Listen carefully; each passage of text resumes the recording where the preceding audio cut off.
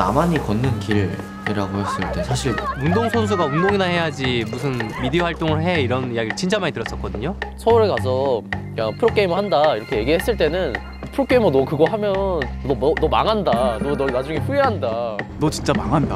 아 저게 성공할까? 누가 춤으로 직업을 해? 아우 내가 너 이럴 줄 알았으면 춤 못 추게 하는 건데 막 이랬을 때 갑자기 댕이 확 받는 거예요. 어 이것 봐라 내가 보여줄게. 직업을 선택하는 데 있어서 정말 크게 작용하는 요인은 아무래도 돈을 얼마나 버느냐죠. 억대 연봉이 겨우 한두 명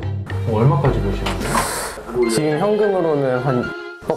삼성동 청담동 막 이쪽을 너네 여기서 알바 2시간씩 하고 이게 인생이야 그래서 요즘 내가 많이 벌고 있니 알아요? 그럼 더 벌어. 일을 더 해. 더 잡아. 어. 레슨 때는 팝핑을 했었고요.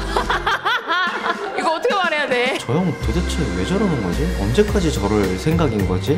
Please say hi This is my documentary Please say hi 삶을 살아오면서 복잡하게 생각해 본 적도 없고 별로 깊게 생각 안 해. 나랑 결혼해 줄래요? 꿈을 가지라고 하면서 현실적인 한계를 좀 빨리 깨우치게 하는 교육이 좀 있는 것 같아요. 그걸 깨부수기가 쉽지가 않은데 사실은 되게 쉬워요. 졸지 마세요, 제 인생 때.